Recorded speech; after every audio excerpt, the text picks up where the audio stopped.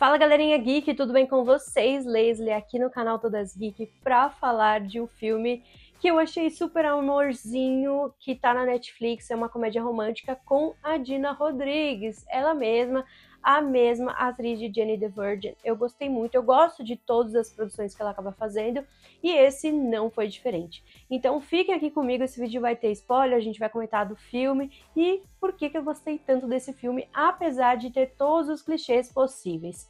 Me conta aqui nos comentários o que vocês acharam, dá o seu like no vídeo, se inscreve no canal e bora falar de jogos de amor.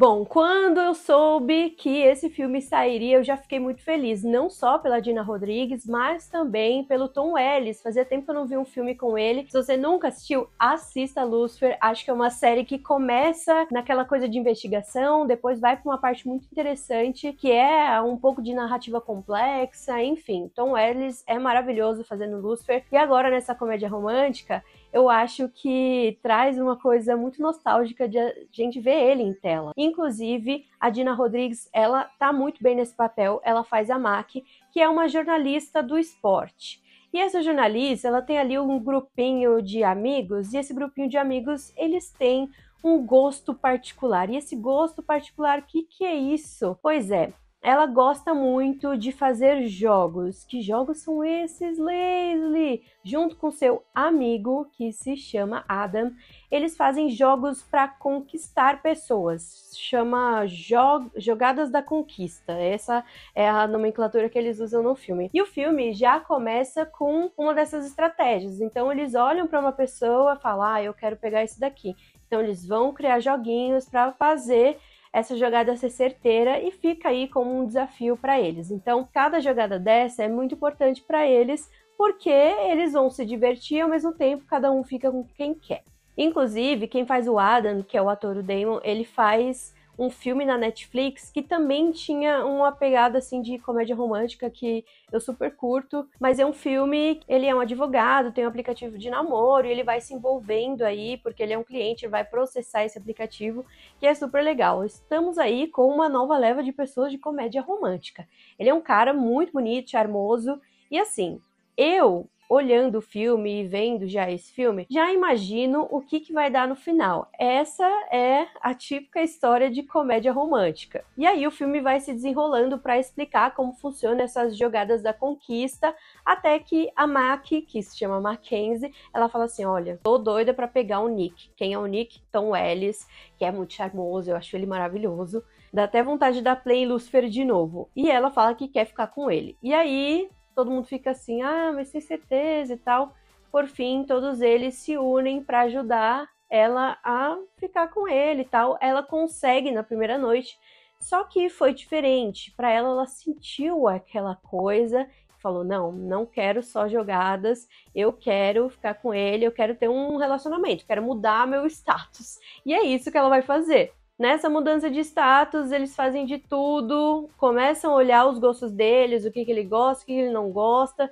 Eles conseguem perceber que ele é realmente um pouco diferente da Mac, mas a Mac, ela quer porque quer ter um relacionamento sério com ele. E ok. Só que aí o Adam sempre fala: olha, se você tá indo para um relacionamento sério, toma cuidado, porque assim, né? Você não pode fazer um relacionamento baseado na mentira.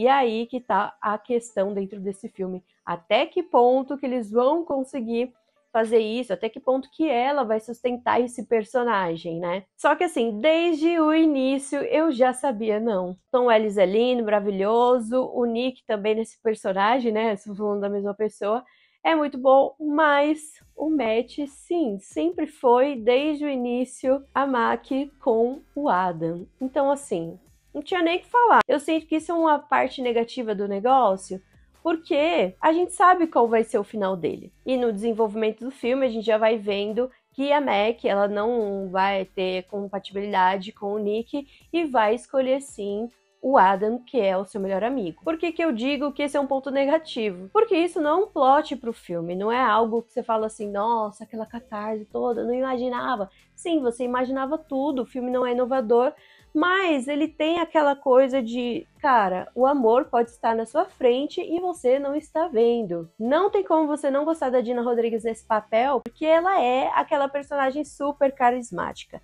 Eu amo, sempre amei Jenny the Virgin. Eu acho que eu, foi uma das primeiras séries assim que eu assisti na vida, inclusive antes de criar conteúdo. E assim, eu amo, amo, amo essa série, que é Jenny the Virgin. E a Dina Rodrigues, ela sempre fez um papel muito, muito, muito bom. E a partir de então, tudo que ela ia fazendo, eu ia atrás para assistir. E eu fico feliz que Jogos de Amor, ele é um filme que vai trazer pessoas para assistir por conta da Dina Rodrigues assim como Tom Ellis, que tem um grande público. Então, o filme, ele chama atenção por si só, nem tanto por conta da sua sinopse, mas sim pelos atores que fazem um bom papel, têm um bom fandom e acabam acrescentando isso na trama. Nem sempre é fácil trabalhar com clichê, apesar de que, óbvio, tudo vai se encaminhar para um final feliz. Mas aqui nesse filme, ele é interessante pela maneira como é conduzido esse filme. Então, tudo que ela faz até chegar no Nick é assim, espalhafatoso. Então, ela vai conseguir aí uma amiga que ela nem tem, uma amiga que ela nem tem, que é a Ashley. E aí, eles vão fazer de tudo. Aquela hora, a cena do piquenique. Ela comeu roubalo, é roubalo que fala? É, ela comeu roubalo que ela nem gosta, né, junto com Adam. Então, assim, desde o começo, a gente já via indícios de que a Mac tinha um match maior com o seu amigo Adam, tanto nos gostos, tanto nos desgostos, e é por isso que vai fazer com que esse casal te convença no final do filme. E fazer algo convincente em um filme é a chave e é o desafio. E aqui não foi tão difícil porque já existia química tanto nela com o Adam quanto ela com o Nick. Mais uma vez a Netflix consegue acertar em cheio em uma comédia romântica. Se for para fazer um pedido, sim, Netflix, coloquem mais comédias românticas, porque é uma coisa que a gente gosta, a gente gosta da farofada, a gente gosta daquela coisa de começo, meio e fim, quando vai ter todas as histórias certinhas, atriz que a gente gosta, ator que a gente gosta, não tem erro. Nos quesitos técnicos também, não vai ser uma novidade, que vai ser tudo ali redondinho, mas sem muita novidade, o que não importa também nesse tipo de filme, nesse gênero. Por fim, Jogos de Amor é um filme que eu gostei, é um filme que vale a pena, apesar de não ser inovador, apesar de não ser nada demais, tá? Se fosse para classificar aqui de 5 estrelas, eu colocaria um 3, tá bom? É uma ótima nota. Me contem aqui vocês o que, que vocês acharam, o que, que vocês mais gostaram e também o que, que vocês não gostaram do filme, tá tudo bem. Lembrando, vídeo aqui no canal toda semana. Espero vocês no próximo vídeo. Um beijo. Tchau!